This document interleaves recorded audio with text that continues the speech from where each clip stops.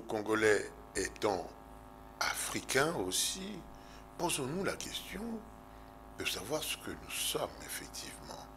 Et surtout, ce que les autres croient que nous sommes, notamment nos anciens colons, ceux qui nous ont asservis pendant la colonisation, même un peu avant. Et aujourd'hui, comment nous considèrent considère-t-il que nous sommes? Et je dois à l'honnêteté de dire que ce sujet brillant nous a été proposé par M. l'abbé Pondou. M. l'abbé Pondou, en introduction, je voudrais que vous soyez bref. Qu'est-ce qui vous a poussé à nous proposer ce titre Ce titre qui me parle personnellement? C'est un constat. J'ai suivi le film de Thierry Michel, le dernier film de Thierry Michel sur notre pays, mais en réalité, c'est sur notre euh, continent africain, en quelque sorte, particulièrement la région des Grands Lacs. Hein. c'est pas uniquement le Congo. Hein. Et ce film s'intitule L'Empire du silence. Et lorsque je vois les scènes d'horreur dans ce film. Comment des gens, des hommes, des êtres humains qui disent des êtres humains, sont en train de dépecer d'autres êtres humains. De dépecer, d'éventrer. Je me dis, il y a un problème. Lorsque je lis le livre de Charles Onana, intitulé Holocauste au Congo. Les scènes qui sont décrites là-dedans. Et des scènes qui sont des scènes horribles. Des gens qui s'entremangent en quelque sorte. Et des Africains. J'en arrive à cette question. Et il n'y a pas que euh, ces, euh, disons, ces deux éléments hein, qui m'ont poussé à cela, mais l'observation de l'intérieur je suis quelque part, il y a un taxi qui s'appelle Ketch, d'un petit véhicule qui est fait pour prendre tout au plus cinq personnes, eh bien, il y en a dix là-dedans. Et les dix en question, ce n'est pas à l'intérieur de, de l'habitacle, mais tu en vois deux ou trois dans le coffre. Lorsque quelqu'un un être humain accepte de faire un trajet dans le coffre d'un véhicule, c'est que quelque part, il y a un problème. c'est que quelque... problème? Le problème, c'est que le coffre est fait pour des choses. Le coffre est fait pour euh, transporter les biens matériels. Conclusion, nous avons perdu nous avons perdu l'humanité. Monsieur Modeste Bonigaba, sujet grave s'il en est. Oui, en fait, le vrai problème, c'est que ça ne date pas de cette période-là coloniale. La chosification remonte un peu plus loin. Quand on a connu quatre siècles de traite négrière, donc vous êtes vraiment des marchandises, et ça ne peut pas s'effacer comme ça suivi par la colonisation qui était une autre forme de chosification, mais localement. Là, on ne vous envoie plus euh, outre-mer ou quoi, on, vous utilise comme des bêtes de somme localement. Du jour au lendemain, on dit voilà, bon, maintenant... Euh, Très bien, on vous donne les dépendances. On vous donne les dépendances. Et vous, vous ne vous posez pas la question que Mabika Kalanda s'était posé. Vous dites, bon, mais on a l'indépendance, on danse, c'est bon, tcha tcha tcha, et on est là-dedans jusque maintenant. C'est qu'en fait, le système qui a été mis en place depuis très longtemps, à partir du Code noir, où c'est vraiment précisé, ce système n'a jamais changé. Et en fait, nous avons été naïfs de croire que ça pouvait changer comme par une baguette magique. Exactement, exactement. Donc, on, a cru que le fait de ne plus avoir le blanc au poste de capita, de le remplacer par un, frère de tribu ou un frère de, hein, la, région, ainsi de. Donc, il n'y a plus rien. Il n'y a plus de chosification. Alors que la chosification continue. Je crois que l'illusion a été créée à ce moment-là. Lorsqu'on a, on a dit, voilà, ben, maintenant vous êtes indépendant. Et effectivement, so- 60 ans après, on continue à recevoir des directives de ceux-là même qui nous ont directement assujettis pendant toute cette période. Maintenant, ils, ils le font par nègre interposé, c'est-à-dire on vous dit voilà, il y a eu des élections et tout ça, démocratiquement élus, et, ils sont contents parce que maintenant leur capita est légitimé par des élections que les gens, euh, auxquelles les gens ont assisté, mais eux ne, ne comprennent pas que ces élections c'était juste une, disons, euh, une astuce pour vous faire passer leur capita. hein, et c'est pour ça qu'ils s'accrochent à dire, mais il a été démocratiquement élu. Il faut qu'il rentre, il retrouve son poste, parce qu'il a été démocratiquement élu. Hein, on entend, là, il y a des coups d'État ici et là, au Niger et ailleurs, parce que ils ont compris que nous sommes effectivement restés des choses, des instruments, de, de, pour certains, et les autres acceptent de jouer le jeu de, de, l'asservissement. Donc, aussi longtemps qu'on n'aura pas compris que la remise en question de Mabiga Kalanda pour dire maintenant on nous a on dit que nous sommes libres. Bon. Qu'est-ce que nous pouvons garder dans ce qu'ils nous ont apporté? Est-ce que nous devons retourner à, la comment on appelle le- l'habit là de Oui, hein, de même- pygmée ou de- donc pas de, pas de chemise. Non, ça on peut garder. Mais est-ce que telle autre chose qui finalement continue à nous, pousse à continuer à être des asservis, est-ce que nous pouvons garder ça aussi? Donc cette remise en question n'a pas encore eu lieu. Et Mobutu a, essayé de la faire, mais les turiféraires qui l'entouraient euh, l'ont remplacé par des chansons. Les, Ouais, ouais. Comment on, on- on le, on le louait. il était- alors que ça aurait pu nous permettre effectivement, et lui avait pris cette idée, avait tiré cette idée de Mabika Kalanda, Ouais. qu'il voulait faire autrement, et ceux qui, qui l'entouraient ont folklorisé. Et, monsieur l'abbé, c'est grave. C'est très grave.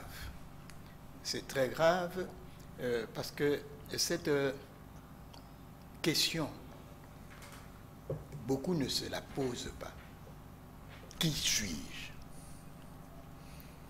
Et je vais aller plus loin. Suis-je encore un être humain? Suis-je encore un homme? Avec grand eu, H. avec grand H.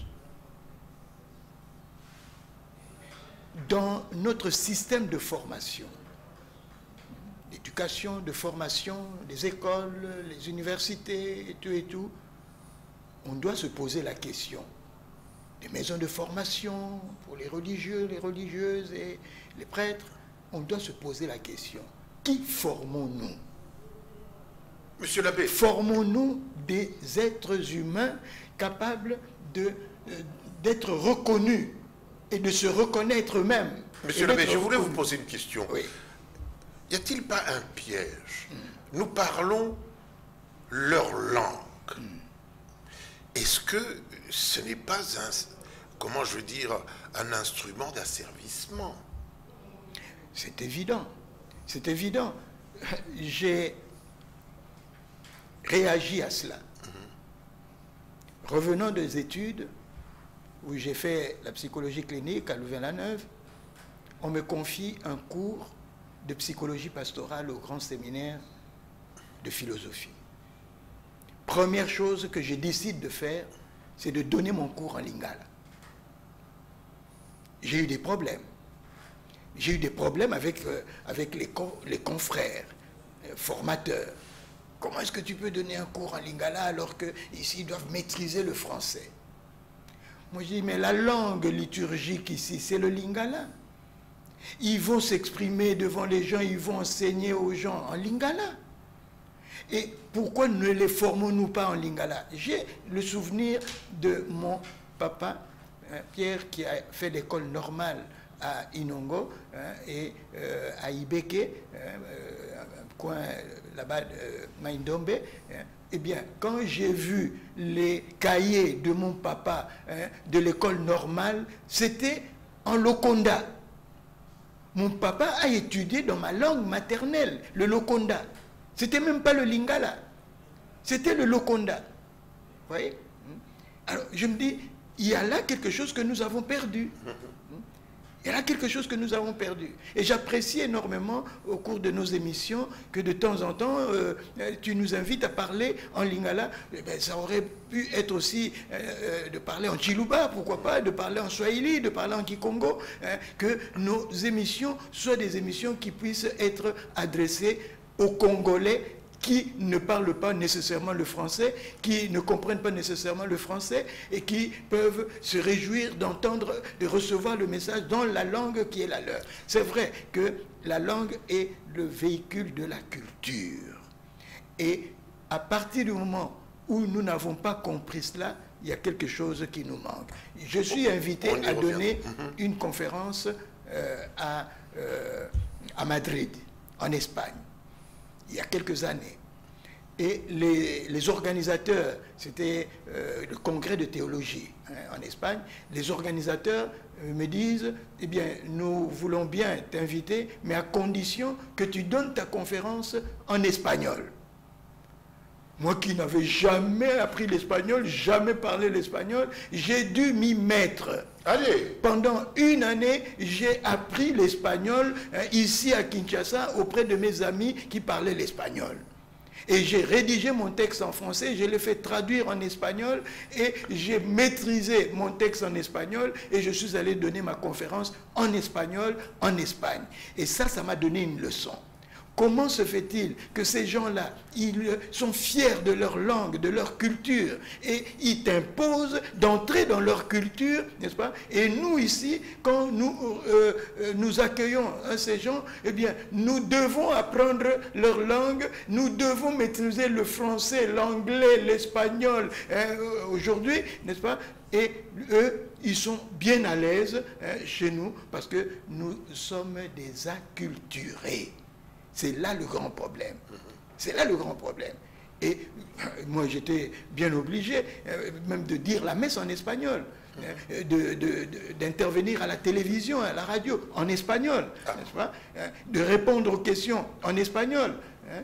Et pour ça, on m'a donné la possibilité de vivre dans une famille espagnole pour que je pratique mon espagnol. Donc la langue est aussi un piège. Enfin, nous avons perdu l'humanité. Nous avons perdu l'humanité. Mhm. Et il nous faut la reconquérir. Le problème est de savoir comment. Ah, ça, c'est la grande question. Parce que moi, ce qui m'a, je l'ai déjà dit au cours d'une de, nos émissions ici, c'est que effectivement, j'ai eu la chance euh, de faire un peu toute l'Afrique. J'arrive à Dakar, euh, je, trouve non seulement que les taxis sont, sont en jaune, je trouve les taxibus, et puis des, gens qui sont perchés dessus. Je dis, mais c'est comme chez moi. Mais on va en Côte d'Ivoire, au mariage de, la fille de feu, le maréchal Mobutu. On va dans un quartier euh, euh, populaire. ou très mouvementé. À un moment, j'ai dit à mon caméraman, d'ailleurs il vit encore, il s'appelle euh, Diaki, quelqu'un d'autre, je m'arrête quelque part, je dis, mes chers amis, qu'est-ce que vous ressentez là maintenant? Les amis me disent, non, rien. Je dis, non, mais sollicitez tous vos sens. Il dit, oh, rien. Je dis, non, même votre... même odorat. Il dit, ah, mais eza lokola kimti na, nini? Dit solo. Je me dis mais comment? Mais en Côte d'Ivoire les odeurs que nous renvoie la cité ce sont les odeurs que nous envoie nous renvoie Matongue mais pourquoi cette ressemblance là donc véritablement c'est bien de nous poser la question de savoir euh, africain qui, suis-je? Congolais Qui suis-je? Modeste. Eh bien, c'est ça la, la question. Manifestement, on n'est pas des humains, au sens où on devrait l'entendre. On n'a pas le sens de l'humanité. M. Lavé vient de dire euh, des choses sur le livre d'Onana ou le film de Thierry Michel. Ça, c'est la manifestation la plus crue de cette bestialité. On a, après cette période de colonisation, où nous avons été conditionnés pour être juste des, des machines, des, machines, des petites mains pour faire ceci ou cela, nous, accédons à cette indépendance sans contenu. Nominal, comme dirait l'autre. Nominal. Et nous sommes très heureux d'accéder à ce statut. D'ailleurs, je me souviens de cette blague d'un pygmée mhm. chez nous qui disait Ah, maintenant avec l'indépendance, c'est sûr que les Congolais vont commencer à épouser des femmes blanches, et nous, les pygmées, nous, nous pourrons aussi nous, Hein, nous taper des Congolaises. Très bien. donc il y a une élévation dans la société hein, à, laquelle euh, euh, il assiste. Mhm. Alors, donc on, se contente de ce qui est superficiel. On n'a pas compris que on devait se demander, bon, maintenant on nous dit que nous sommes indépendants. Quel Congo nous voulons? Parce que ce ne peut pas être le Congo que les Belges ont voulu façonner pour eux, en nous utilisant, nous, comme simples ouvriers, euh, auxiliaires. Ça ne peut pas être le même Congo. Nous devons réfléchir sur le Congo que nous voulons maintenant nous construire pour nous et pour nos enfants. On a refusé de se poser cette question fondamentale. Du coup, on a continué donc les mêmes routines, les mêmes, les mêmes réflexes, les mêmes gestes qu'avant, si bien qu'on arrive maintenant à l'exacerbation de, ces pratiques euh, bestiales qui nous amènent pratiquement au cannibalisme ou à des choses tout à fait inimaginables. C'est peut-être l'alerte qui devrait nous pousser à nous dire qui sommes-nous Comment pouvons-nous continuer à ne pas regarder cela, ne, pas faire attention à ça. Parce que là maintenant, c'est toujours bon, élection, demain, ceci, etc. Donc c'est vraiment parti pour, euh, pour la gloire. Pour la gloire. Vous savez, il y a un ami euh, méchant qui me dit, un professeur qui me dit, il arrive à, Dar es Salaam, euh, il a un chauffeur et tout ça, et puis le chauffeur lui dit, bon, il faut qu'on ajoute du carburant puisque le soir, la nuit, les, pompes, les stations, de, vont, vont, arrêter. Et puis le professeur lui dit, si les stations s'arrêtent, euh, nous irons acheter chez les Kadhafi. Euh, le chauffeur, lui c'était un professeur, le chauffeur lui dit, mais ici il n'y a, pas, a pas de Kadhafi. Les Kadhafi, ils paieraient, où, ils paieraient l'impôt où? Vous vous rendez compte, hein? C'est un professeur. Et pour dire que lui dit, la colonisation euh, britannique est différente de la colonisation. Il va même plus loin. Il dit, euh, les catholiques et les protestants ont procédé autrement. Parce que les, pays euh, comment je veux dire, catholiques, développé, il n'y en a pas beaucoup, il n'y a que la France. Enfin, il est allé un peu trop loin. Vous vous rendez compte Un un chauffeur qui vous dit, mais est-ce que, est que ça se fait? Mais chez vous, ça se fait? Il dit oui. Mais, alors, mais comment, comment ces gens-là payent l'impôt? Mais c'est grave ça, pour euh, vous qui nous suivez. Que tout le monde puisse savoir que l'impôt, il faut le payer. Tout le monde doit le payer. Et vous me proposez, vous, d'aller acheter le carburant chez les Kadhafi. Ici, ça ne se fait pas. Monsieur l'abbé, je vais un peu dévier. Enfin, c'est pour dire qu'il y a des choses que nous acceptons et qui ne devraient pas être acceptées euh, pour humaniser euh, notre société. Oui, je voudrais revenir euh, là-dessus pour dire que la déshumanisation ou la chosification elle ne doit pas se limiter seulement à ce que les colons ou les négriers ont fait de nous.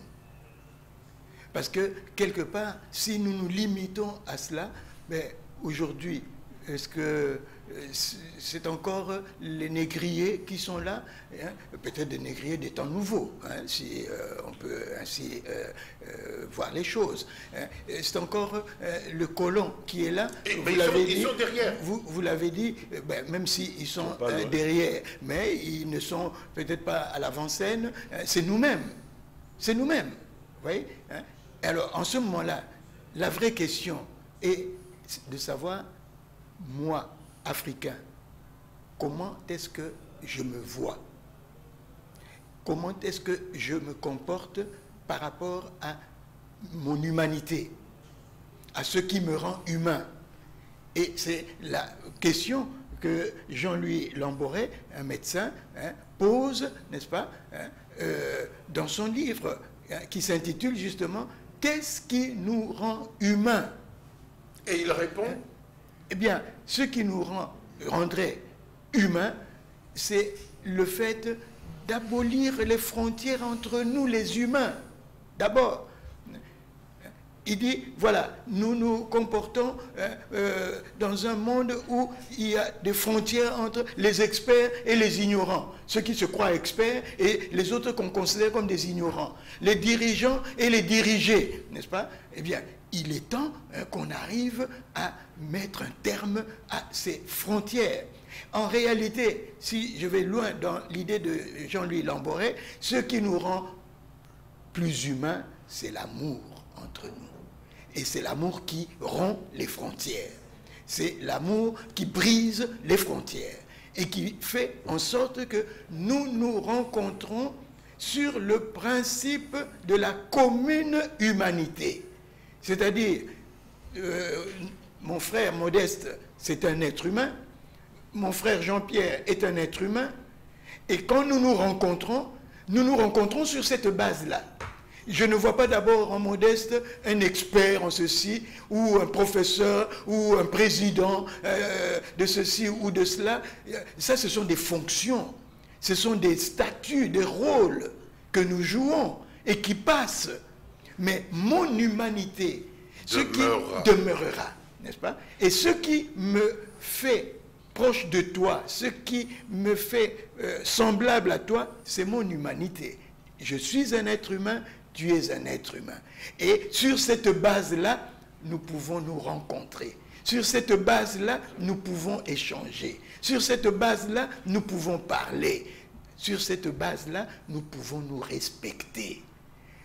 Respect que je dois moi-même comme être humain et respect que je dois à l'autre comme être humain. À ce moment-là, il y aurait, il y aurait plus euh, ce que nous constatons, préso, préso, non. Le culte de la personnalité n'existera plus. Le culte de la personnalité disparaîtra. et la flatterie aussi. Et la flatterie, évidemment. Hein, la flagornerie. Hein, vous voyez, hein. aujourd'hui, que tu sois noir ou blanc, la race, que tu sois chef ou subalterne, les fonctions, que tu sois homme ou femme, le sexe, que tu sois, euh, euh, je ne sais pas moi, euh, tel ou tel, ça, ce sont des choses qui nous distinguent, mhm. qui nous différencient. Mhm. Au-delà de ce qui nous différencie, au-delà de ce qui nous distingue, au-delà de ce qui fait que nous sommes, oui, différents, au-delà de tout cela, nous avons ensemble la même humanité, c'est-à-dire la même nature humaine. Et c'est sur cette base que nous devrions hein, partir pour retrouver notre humanité que nous-mêmes, nous sommes en train de détruire parfois. Et nous disons, les, les, Blancs, les, colonialistes ou les euh, négriers, euh, les Arabes qui sont venus ici pour nous acheter comme des, des objets, eh bien, mais même en ce moment-là, même en ce moment-là, lorsqu'ils venaient, ils traitaient avec qui? Ils traitaient avec nous, non?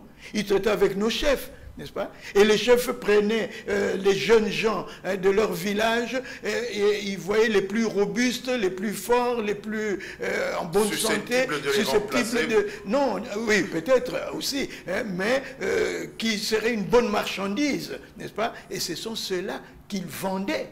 Exactement comme des bêtes. Comme des bêtes, n'est-ce pas? Comme des bêtes. Hein. Et je crois qu'il est important que nous, Africains, nous nous ressaisissions et que nous puissions nous dire à nous-mêmes, je suis un homme, tel que monseigneur euh, Kabanga, à l'époque, euh, l'avait écrit dans une lettre pastorale qui a euh, fait beaucoup de bruit en ce temps-là. Eh bien, cette lettre s'intitulait « Je suis un homme ». Et aujourd'hui, j'ai droit, au, respect. Le respect que je me dois à moi-même et le respect que je dois aux autres je suis un homme. Je crois que la réponse à la question qui suis-je africain est là, dans cette lettre de Monseigneur Kabang. Que l'Africain doit aujourd'hui se dire je suis un homme. Et, parce que je suis un, homme, je, dois savoir partager, je dois savoir respecter l'autre et lui donner ce qu'il faut pour qu'il continue à être humain. Oui, exactement. C'est cela. Mais vous savez, cette perte d'humanité, malgré tout, elle remonte à cette époque-là. Parce que ils sont venus nous montrer que nous n'étions pas des humains. Oui, tout à fait. Et pendant des années, nous avons finalement intériorisé, inconsciemment peut-être, qu'effectivement, ben, nous, nous étions un peu à part. Mais, il y a un exemple, nous en parlions tout à l'heure. Euh, il y a quelques années, quand vous alliez en Europe, en ne passant pas par euh, la Belgique, vous n'avez pas été en, en Europe. C'est extraordinaire. Voilà. Aurélie Napoto, hein, comment on a make and peace Non, on a les gars qui Belgique. Ah, donc, ok, les Vous vous rendez compte? Nous, Congolais, Zaïrois, à l'époque, nous ne nous sentions pas avoir fait l'Europe quand nous ne passions pas par la petite Belgique. Et nous avons intériorisé ça. intériorisé parce qu'ils nous ont mis ça en tête. Et nous continuons à reproduire ça. Nous continuons à reproduire ça. Nous sommes ceux qui sont parmi nous les, les capitaines et ils sont heureux d'avoir monté d'échelon parce que maintenant ils, ils se trouvent un peu presque au même niveau que ceux-là qui nous ont asservis hier. Ils mangent à la même table, ils sont s'invitent, donc eux, ça va, ils sont contents. Mais ils continuent à jouer le rôle de ceux, de ceux qui nous... Donc ils sont devenus les capitales, les relais locaux. Tout à fait. De ces maîtres d'hier et donc d'aujourd'hui. Alors donc, pour changer ça, pour changer ça, c'est vraiment un travail en profondeur. C'est-à-dire Savant. oui, parce que il s'agit. Il doit toucher de la psychologie, il doit oui, parce qu'il faut toucher l'être dans sa profondeur. Tout à fait, parce qu'il faut en même temps, au même moment, couper cette dépendance qui est restée euh, euh, psychologique, mentale, et redonner aux Africains, aux Congolais, le, comment dirais-je, la conscience d'être des hommes. Oui. La conscience de la liberté. Et donc c'est un travail qui, sur deux terrains, sur deux fronts à la fois. Mhm. Il faut à la fois montrer à ceux qui sont dans les coulisses, qui continuent à tirer les ficelles, que ça ne marchera plus, parce que nous organisons autrement, mhm. à l'intérieur la société pour la rendre pratiquement Plus égalitaire. plus égalitaire et pour qu'elle puisse effectivement, les membres puissent effectivement avoir presque, l'amour devienne une, une donnée naturelle. Parce que tel que c'est structuré aujourd'hui, ce n'est pas automatique. Il faut, il faut organiser autrement la société en interne pour qu'elle soit effectivement plus égalitaire, pour que les intelligences collectives puissent effectivement concourir à cette réalisation. Sinon, on va continuer à être, il y a de telles tribus, moi je suis de... Parce que cette division-là... Ah, il, a- il a ah, commencé. Ah oui, c'est celle-là C'était le, qui nous... c'était le fondement. Ah oui, oui, c'est là qui, qui- c'est là qui nous tue. Parce que quand on est, on- on est encore dans la logique de celui-là c'est la tribu telle, celui-là c'est province telle, maintenant c'est notre tour, ah là on est en plein, on est en plein dans leur jeu. Et au- au- au- aujourd'hui, on se rend compte que euh, ben, on n'en sort pas. Tel que ça fonctionne, c'est là qu'on est. Donc on, on doit absolument rompre avec ça, se donner une nouvelle organisation qui puisse mettre face à face des hommes entre eux, des femmes évidemment, mais en fonction de leurs qualités respectives. Ce n'est plus à lui, mais ouais, attention. Mais hein, tout à l'heure, tout à, hein. l'heure, avant d'entrer, on, on écoutait euh, euh, Bourgi euh, qui, qui- qui amenait des, des malles d'argent aux, aux chefs d'État africains et tout ça. Non, Et- qui a amené en Europe. en- qui amenait en Europe des valises, Oui. effectivement, qu'il venait et qui cherchait chercher en Afrique. Moi-même, j'ai assisté à des trucs, je n'y reviendrai plus.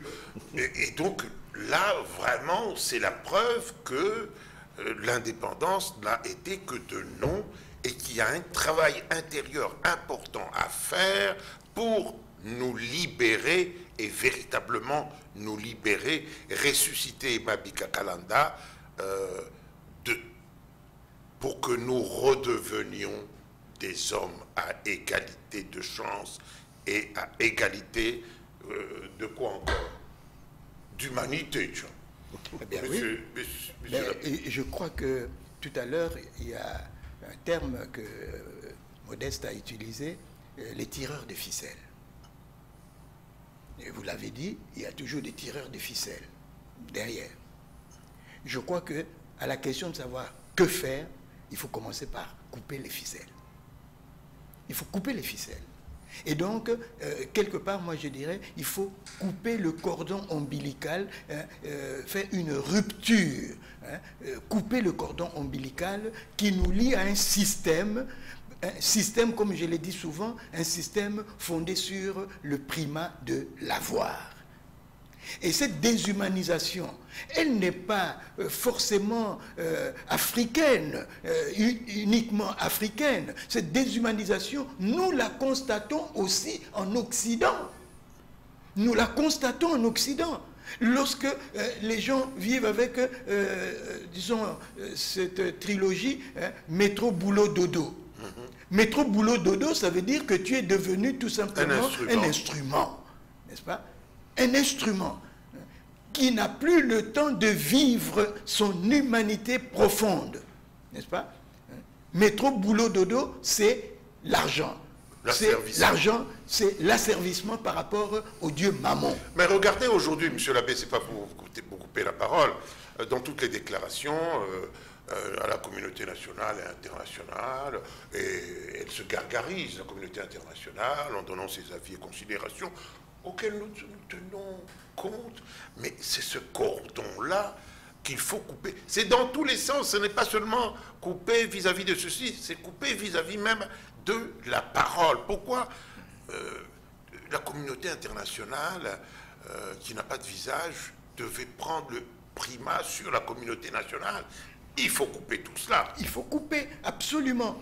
Il faut couper. Et ce qui est en train de se passer au Mali, ce qui est en train de se passer euh, au Burkina, hein, au Niger, hein, je ne parlerai pas du Gabon, hein, le cas tout récent, hein, je mets ça un peu entre parenthèses pour attendre que les choses se clarifient, qu'on voit un peu plus clair dans ce qui se passe, mais ce qui se passe au Mali depuis un certain temps, depuis un certain temps, eh bien, c'était cet effort de couper les ficelles, de rompre, de rompre. Il y a une rupture indispensable pour refonder nos- nations, nos États, et refonder nos relations. Et pourtant, monsieur l'abbé, il y a beaucoup d'intellectuels qui ont dit que euh, à un moment, il était question qu'on crée l'écu pour, euh, euh, nos amis de, de l'Afrique de, de l'ancienne colonie française. Sans ces pays-là, il semble que l'Afrique, pardon, que la France ne serait rien du tout parce que la France garde beaucoup d'argent appartenant à ces pays dans sa banque. Et pourquoi ça ne se réalise pas? C'est parce que ce cordon n'est pas coupé. Parce qu'il y a des Africains qui tiennent à euh, continuer ce système et qui tirent profit, quel profit? Maigre profit, mais profit quand même de ce système et ils n'ont pas intérêt à couper hein, euh, le cordon ombilical. Or, dans l'histoire de l'homme, quand tu es dans le sein maternel, tu es lié à ta mère par le cordon ombilical. Ce cordon-là, c'est la première des choses que l'on coupe hein, lorsque l'enfant naît. Mhm. le premier acte que l'on pose, c'est de couper le cordon ombilical qui est le symbole d'un départ d'une nouvelle vie d'autonomie. Et une autonomie qui ira croissante que au fur et à mesure que l'enfant grandit, cette autonomie aussi prend de l'ampleur, n'est-ce pas? Euh, Au départ, euh, on a coupé le cordon ombilical, bien sûr, mais c'est la maman qui va te laver, c'est la maman qui va te donner à manger, c'est la maman qui va t'habiller, et puis petit à petit, eh bien, toi-même, tu vas commencer à euh, te laver, tu vas commencer à t'habiller, tu vas commencer à te nourrir, tu vas commencer à prendre ta vie en main et en devenant autonome. Cela ne signifie pas que tu ne gardes plus une relation avec ta maman ni avec ton papa, mais la relation deviendra de plus en plus au fur hein, et à mesure et au fil du temps une relation d'adulte à adulte, n'est-ce pas? Ou à un moment donné, moi et mon papa, nous étions des amis nous étions comme des copains, n'est-ce pas? On allait au cinéma ensemble, on allait prendre un verre euh, dans le bar du coin ensemble et on causait comme des amis, n'est-ce pas? Je l'invitais au restaurant, je l'invitais euh, au cinéma, tout comme lui pouvait m'inviter pour aller ici ou là, n'est-ce pas? Et on est des amis parce qu'il y a une autre relation qui s'établit. Or, aujourd'hui, le problème avec euh, beaucoup d'entre nous, Africains, c'est que nous ne voulons pas de cette autonomisation, autonomie, indépendance, liberté, n'est-ce pas? Nous avons peur d'être libres. Et ce qui est vrai, c'est que les enfants d'Israël, lorsque euh, Moïse les a fait sortir de l'esclavage de l'Égypte, eh bien, euh, euh, dans leur parcours, leur, chemin vers la terre promise, la terre de liberté, eh bien, ils ont récriminé. Nous étions bien là-bas, nous étions bien, on mangeait bien, tu nous amènes à un endroit où nous crèvons de faim, de soif, eh bien, nous, nous préférons rentrer là où on mangeait encore de la viande, n'est-ce pas, euh, et tout ça. Eh bien, c'est le grand problème. Il y avait la, la terre promise. Le grand problème est là. Sommes-nous prêts à souffrir lorsque nous aurons coupé le cordon ombilical? Sommes-nous prêts, prêts à assumer le cri primal, le cri de l'enfant qui pousse lorsqu'il sort, lorsqu'il quitte euh, le monde de sécurité euh, dans lequel il vivait euh, dans le sein maternel, il entre dans un monde qui l'agresse en quelque sorte, eh bien, il pousse ce cri primal qui est un cri un peu de désespoir, de dire, mais qu'est-ce qui m'arrive? Je vais vers je suis? Je vais vers l'inconnu et tout et tout. L'inconnu fait peur. L'inconnu fait peur. Alors, à nous, Africains, de nous dire, allons vers l'inconnu, mais qui pour nous sera le connu. Tout à fait. Mais, monsieur l'abbé, moi je crois que vous avez raison. D'ailleurs, l'esclave, euh, quand on le libère, généralement, il a tendance à dire non, il ne faut pas me libérer, qu'est-ce que je vais faire? Parce qu'il va vers l'inconnu. Il dit non, non, je, reviens euh, à titre personnel, euh, euh, demeurer votre esclave. et ça bénévole. Ben oui. oui, bénévole, hein bénévole. non, je crois que c'est vraiment le, le combat qui doit être mené, parce qu'il s'agit d'un combat, rompre, c'est tellement fort, Déchirant. déchirant, qu'il ne faut pas y aller comme ça de main morte. Le travail en interne va d'abord commencer par nous transformer, nous, en une armée de citoyens qui ne voient plus les tribus. Parce que ça, c'est l'arme suprême de cela qui nous contrôle. En cultivant cette division entre tribus, euh, les langues, ethnies, vous du sud, vous de l'est, attention et tout ça, tant qu'ils continueront à jouer sur cette note-là, aucune chance de nous libérer. Parce que lorsqu'on on- on- va se rendre compte que ça commence à prendre forme, on va susciter quelque chose pour dire, voyez, mais la tribu là, euh, ouais, et c'est- voilà ce qu'ils ont fait là, ils sont différents, etc. Parce que Nous aurons été divisés. cette division est vraiment l'arme fatale pour nous. Et donc il faut commencer par neutraliser cette arme-là en organisant autrement les Congolais d'aujourd'hui, parce qu'aujourd'hui ils sont en plein dedans dans ce système, les organiser de manière à ne penser que Congo. D'ailleurs, si, si les tentatives de, balkanisation n'ont pas réussi, c'est parce que justement, c'est l'effort intérieur qui a compté. Les Congolais se sont dit, non, nous, nous sommes Congolais et on va rester Congolais. Et cet esprit doit continuer jusqu'au bout. Ce n'est pas un combat facile, c'est un combat difficile. Je rappelle aux téléspectateurs que la seule, l'une de- de- des fautes que Lumumba aurait commises, selon eux, c'était de n'avoir pas accepté la corruption. On dit, mais comment Ce type-là, on lui réserve des millions de francs belges, il ne prend pas, mon Dieu. Donc, c'est pas un combat, c'est terrible pour eux. Ils ont dit, non, il, faut, il mérite la mort. Parce qu'il fallait, on devait lui dicter des choses, mais comment pouvez-vous dicter à quelqu'un qui refuse la corruption? Vous lui dictez quoi? Justement, en refusant la corruption, il a refusé le système fondé sur le primat de l'avoir, qui faisait de lui une chose qu'on achète avec de l'argent. Vous voyez? Et ça, c'est une prise de conscience qui doit être la nôtre aujourd'hui. Je ne suis pas une chose que l'on achète. Je ne suis pas une chose que- qui se vend, qu'on vend. Hein? Et euh, puisque tout à l'heure, hein, je disais, il est important que nous prenions la de mesure 10 minutes. de notre euh, responsabilité, eh bien, je prends l'exemple de la dot, sur le plan culturel.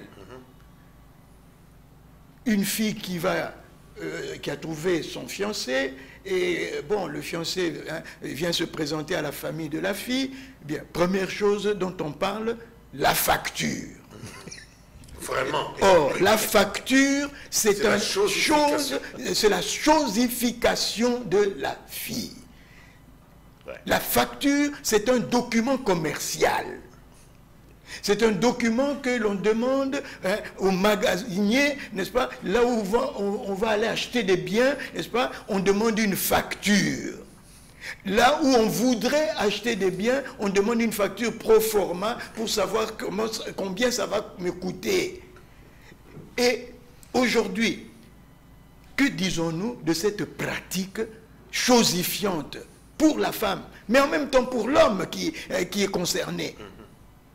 Que disons-nous de cette pratique Où nous disons, ah non, les colons, euh, les, les- les- les blancs, les occidentaux, Mais les ils maîtres, continueront leur euh, jeu parce eh que bien, c'est- le jeu qui les nous, arrange. nous sommes en train de faire quoi pour sortir de ce système qui est basé sur le primat de l'avoir. Et c'est parce que nous adhérons à ce système qu'il nous est difficile de retrouver notre humanité. Et je voudrais euh, ajouter un petit mot là-dessus par rapport à notre histoire et nous reviendrons certainement hein, là-dessus lorsqu'on se posera la question d'où venons-nous. hein. eh bien, notre histoire ne commence pas avec la traite négrière. Notre histoire ne commence pas avec la colonisation. Nous avons une histoire qui est bien antérieure hein, à tout cela. Et dans cette histoire, dans cette culture qui est la nôtre, que nous appelons culture ancestrale, culture traditionnelle, euh, parfois d'une manière un peu péjorative, n'est-ce pas? Eh bien, cette culture riche Il faut la était une culture de l'être.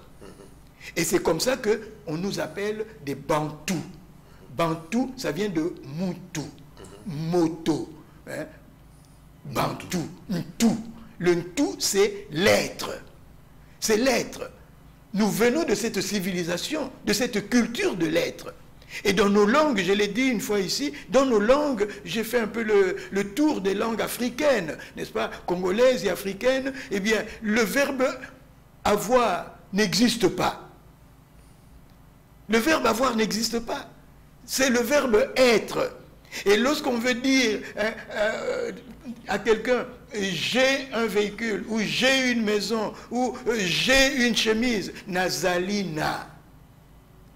Nazalina. Monsieur Ça veut dire plus- je suis avec. Oui, mais il ne reste plus beaucoup de temps. Euh, Je crois qu'il faudrait que vous nous résumiez tout ça en lingala parce que je crois que nous avons moins de cinq minutes. Eh bien, euh, Ça va être difficile, enfin oui. te motuna oyo tozali komituna awa ngai moto ya afrika nazali nani? Ngai moto ya congo nazali nani? Est ce que nazali su moto? Motuna wana nde oyo tosengeli komituna lelo. Ntango tomoni ndenge bato na afrika awa tozali koboma na biso na biso. Ntango tomoni bato bazali kofingana na ndenge ya mabe. Ntango tomoni bato bazali koyina na kokabwana. Ntango tomoni bato bazali koyiba. Ntango tomoni bato bazali kosomba bango. Ntango tomoni te bato bazali koteka bango. Eh bien tosengeli komituna toza lisusu bato. Motuna ya monene yango wana motuna ya motuya mpenza yango wana. Tozali lisusu bato. Soki eh, tokomi eh, biloko. Oza kotambola na motuka oyo esengeli bato bakota bato mitano bozali bato zomi na kati ya motuka wana. Mpe boko bato bo baza na motuka wana bakoti na eh, ekobolo na, eh, na coffre Comment ekobolo. Ah bon, carrément. On en apprend des choses. hein. alors yo moto okoti kuna na coffre. Estce oza esu moto? Mpo coffre basala yango mpona komema biloko.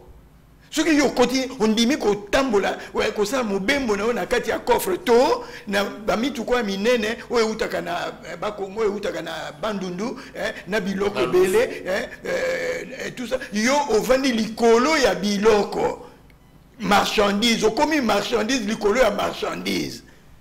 Mpe okosala bakilometre ebele na ezaleli wana oza lisusu moto. Mais, monsieur l'abbé, à kotuna yo akoloba.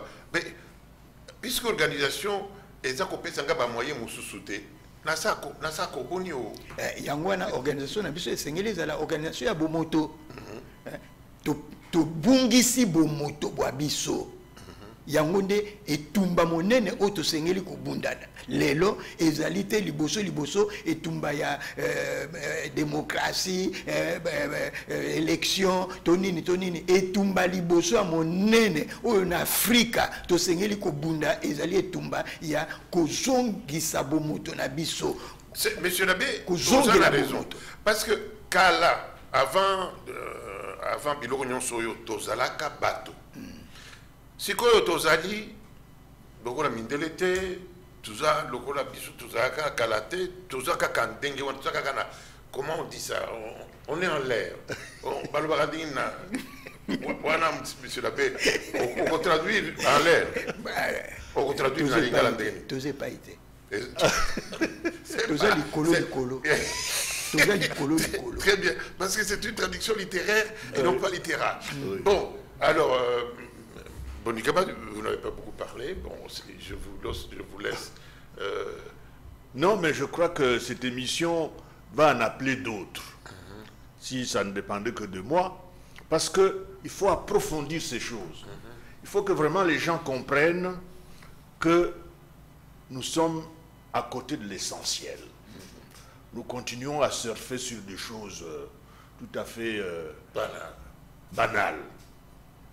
Cette division des hommes, des Congolais, qui a fait que Lumumba s'est senti seul à un moment donné, parce que ses compagnons l'ont abandonné pour aller à la mangeoire.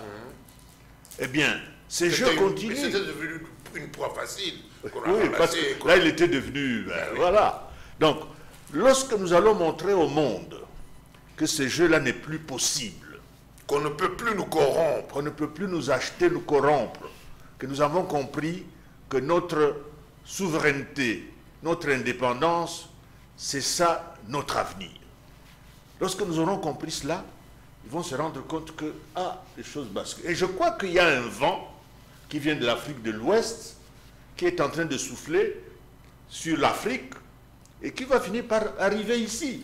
D'ailleurs, ça devrait partir d'ici normalement. Nous sommes le cerveau, c'est-à-dire que oh makambo nyonso oza kolekaka wana ya ba ya banini ya ya ba euh, Afrique de, de l'Ouest nyonso wana mpo na biso soki tozali unis mais eza biloko moko ekoki nous sommes trop riches pour, pour tomber tomber si nous bas donc nous reviendrons sur cette émission qu'on ne puisse pas croire que nous sommes en train de chanter la gloire de, de ce qui se passe ailleurs.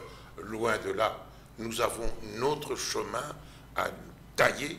Si c'est dans le rock, nous le ferons pour citer certaines personnes. Eh bien, je crois, chers téléspectateurs, chers compatriotes, que cette émission va nous faire réfléchir. Et véritablement, si nous travaillons dans le sens de l'humanité, dans le sens de l'unité, dans le sens euh, de la non-corruptibilité, nous serons heureux ici et nous organiserons la société comme nous le voudrons.